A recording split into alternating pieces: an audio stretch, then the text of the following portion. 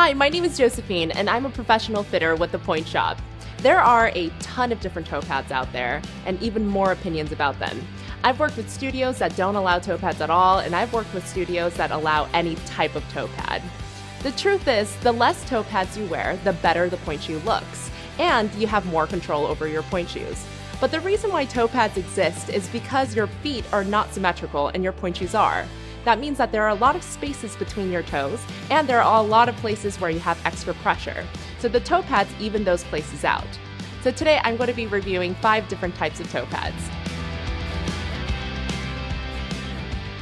The first type of toe pad is this box liner. Gaynor Minden makes this great box liner that just lines the top of the box of the pointe shoe.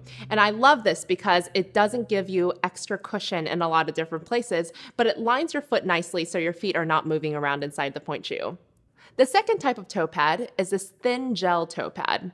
A lot of the gel toe pads that are out there are very, very thick in the toe, and it actually lifts you up on your pointe shoes and makes the vamp too short for your toes.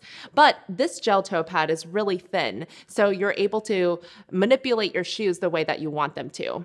The third type of toe pad is called the Pro Pad. The Pro Pad has a lot of cushion on the top, but it doesn't have a lot of cushion at the bottom.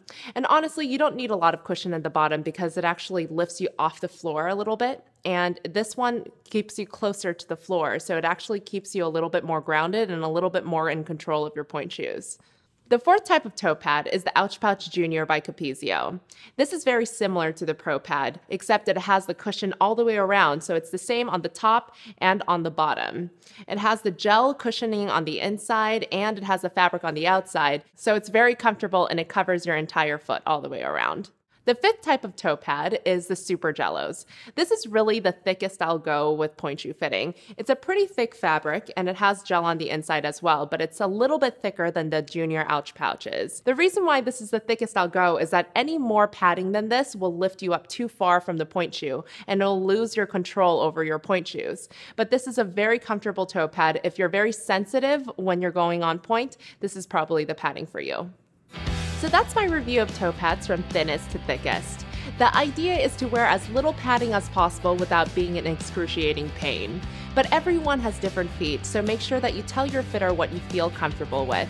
And if you have any questions, please reach out to us at the Pointe Shop. Thanks for watching. If you like this video, click subscribe to watch videos just like this one. And if you'd like to get a professional pointe shoe fitting, please visit our website at thepointeshop.com to make your appointment today.